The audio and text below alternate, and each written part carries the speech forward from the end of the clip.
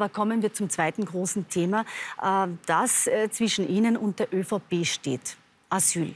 Das hat die ersten 111 Tage Ihrer Kanzlerschaft auch sehr massiv beschäftigt. Und Sie haben sich mehr oder weniger jetzt mit dem Koalitionspartner darauf äh, geeinigt, unter welchen Voraussetzungen schon bald der Notstand in Österreich ausgerufen werden könnte, um Asylwerber an der Grenze abzuweisen.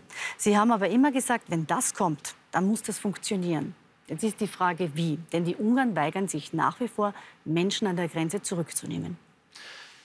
Was da dahinter steckt, ist für uns äh, eine ganz eine große Herausforderung, weil äh, wir haben ja erlebt, äh, dass dieses Thema Migration quer durchs ganze Land, da prallen unterschiedliche Meinungen aufeinander. Das geht bis quer durch die Familie. Und für uns ist wichtig, dass wir die Zuwanderung auf ein Maß begrenzen können, indem wir das uns erlaubt, dass wir die Integration noch schaffen, dass die Menschen sich in unsere Gesellschaft einfügen können, ihre Beiträge zum Gemeinwesen liefern können, die zu uns kommen.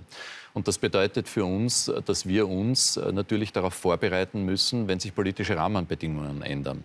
Jetzt glaube ich, dass der Türkei-Deal halten wird, äh, der Flüchtlingsdeal. Aber es kann sein, dass es hier Unwägbarkeiten gibt und wieder mehr Menschen über den Balkan kommen. Wir wissen, Italien ist ganz immens beansprucht. Und wir müssen uns auf diesen Moment vorbereiten, dass das Grenzregime nicht mehr so gut funktioniert wie heute. Aber was passiert dann, Herr Bundeskanzler, wenn diese Menschen vor der Grenze stehen? Sie werden abgewiesen. Und die Ungarn, das hat Viktor aber zuletzt bekräftigt, nehmen sie nicht zurück. Sie selbst haben gesagt, dann gibt es Ping-Pong mit Menschen an der Grenze. Ja, das darf natürlich nicht passieren. Das, das, ist auch ganz klar, dass wir das nicht wollen.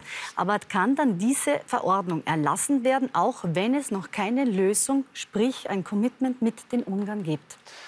Was jetzt passiert, ist ein Begutachtungsverfahren. Äh, das findet vier Wochen lang statt. Wird äh, im, Rahmen, äh, im Laufe dieser Woche noch in Gang gesetzt werden. Dann gibt es die Möglichkeit, dass alle Juristen, NGOs, Zivilbevölkerung, natürlich die betroffenen Ministerien ihre Meinung dazu abgeben und sich ein Urteil bilden, ob das juristisch hält technisch umsetzbar ist und ob die Voraussetzungen schaffen, was die Kooperation mit den Nachbarländern betrifft. Da haben wir nicht nur ein Thema mit Ungarn, da müssen wir mit Italien reden, da müssen wir mit Slowenien reden, mit der Europäischen Kommission. Da ist noch viel zu tun. Am Ende geht es aber darum, eine Maßnahme zu, zu, zu, zu finden, die dafür sorgt, dass die Zuwanderung begrenzt wird. Da ist die Rücknahme der Ungarn eine Variante.